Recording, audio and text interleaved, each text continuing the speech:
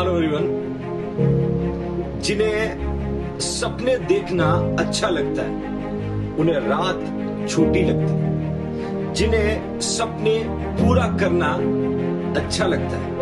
उन्हें दिन छोटा लगता है so do hard work never give up जय हिंद जय भारत